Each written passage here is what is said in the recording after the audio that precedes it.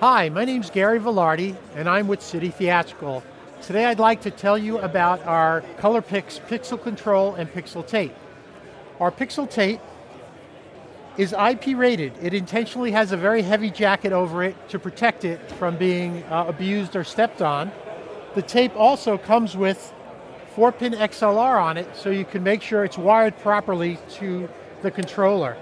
What I'm going to do is show you how our Pixel controller works.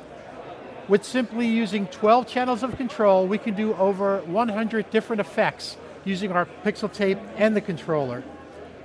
So using my little DMX cat here, I'm going to control our QolorPix controller.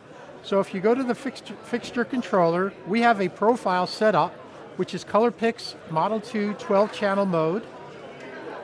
And then we go to next, and it brings us to the controls. Our first channel will be intensity or dimmer. Our next three channels are your background color, so red, green, or blue.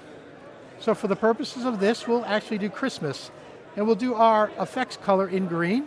We toggle to the next page.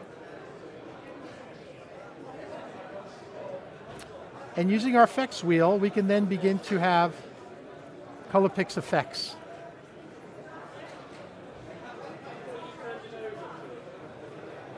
Using our rotation wheel, we could speed up or slow down those effects as well. There are eight outputs on our controller, so you can run eight full five meter reels of pixel tape from one QolorPix controller.